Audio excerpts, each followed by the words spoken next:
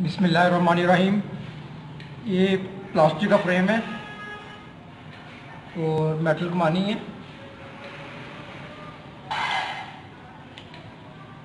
इसमें हम ये प्लास्टिक के शीशे मल्टी में लगाएँगे।